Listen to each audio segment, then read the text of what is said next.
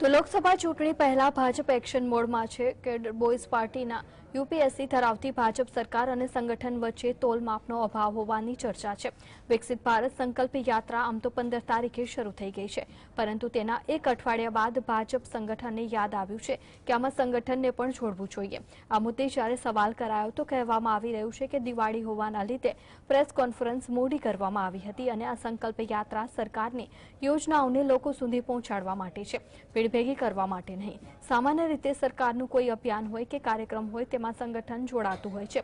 પરંતુ વિકસિત ભારત સંકલ્પ યાત્રા જાણે કે સંગઠનને અંતર જાળવ્યું હોય તેવો ઘાટ જોવા મળ્યો છે. ટ્રાઇબલ જિલ્લાઓમાં જે અઢીસો જેટલી ગ્રામ પંચાયતોને આવરી લેવામાં આવી છે.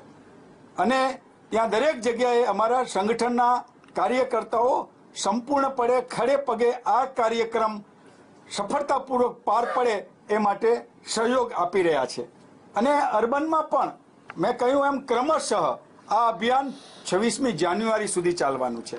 કામ તો શરૂ થઈ જ ગયું છે, પણ દિવાળીનો તહેવાર હતો બધાની અનુકૂળતા નહોતી, પત્રકાર મિત્રોની પણ અનુકૂળતા ના હોય, એટલે હવે આ વિગતો આપવા માટે કર્યું છે ને, બીજું આપે જે કહ્યું કે આ ભીડ ભેગી કરવાનો કાર્યક્રમ નથી. આ લાભાર્થીના ઘરે પહોંચવાનું, એના એના નજીક પહોંચવાનું, એના ગામના ચોરે જઈ, એમના ગામમાં એને બોલાવીને કરવાનું છે, એટલે આમાં ક્યાંય ભીડ નહીં દેખાય. આ યાત્રાનો હેતુ એ નથી. આ યાત્રાનો હેતુ માત્ર ને માત્ર દરેકે દરેક લાભાર્થી સુધી પહોંચવાનો છે. હવે તો યુનિવર્સિટી ઓફ ઇસ્ટ લંડનના ડેપ્યુટી હેડ ઓફ ઇન્ટરનેશનલના ભારતના પ્રવાસી છે. ત્યારે યુનિવર્સિટીના પ્રતિનિધિઓ વડોદરાની મુલાકાત લીધી હતી, જેઓએ મહારાણી રાધિકા રાજે કરેલા સામાજિક સેવાકીય પ્રવૃત્તિઓને ધ્યાને રાખી હતી. ડોક્ટરેટની પદવી આપી હતી અને રાધિકા રાજે ગાયકવાડ અનેક સામાજિક અને સેવાકીય કાર્યો સાથે જોડાયેલા છે. ખાસ કરીને એલજીબીટીક્યુ કમ્યુનિટી માટે તેઓ વિશેષ કાર્ય કરે છે. ત્યારે યુનિવર્સિટી ઓફ ઇસ્ટ લંડન તેમને ડોક્ટરેટની ડિગ્રી એનાયત કરી છે. યુનિવર્સિટી ઓફ ઇસ્ટ લંડનના પ્રતિનિધિ બાવાએ વિસ્તૃતમાં માહિતી આપી હતી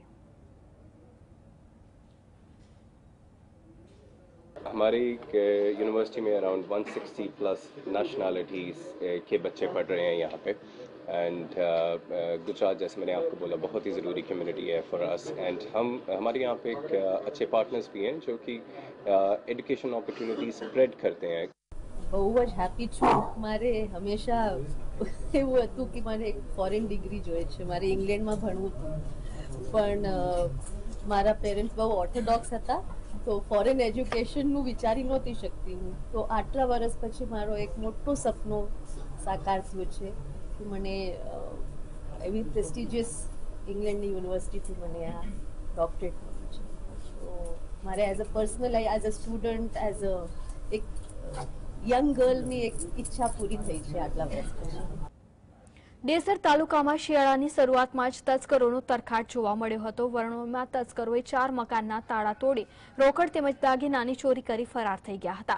પાંચ જેટલા તસ્કરોએ મોઢે રૂમાલ બાંધીને મોટી વરવણી ખાતે રંજનબેનના મકાનમાં તિજોરી તોડવાનો પ્રયાસ કર્યો હતો.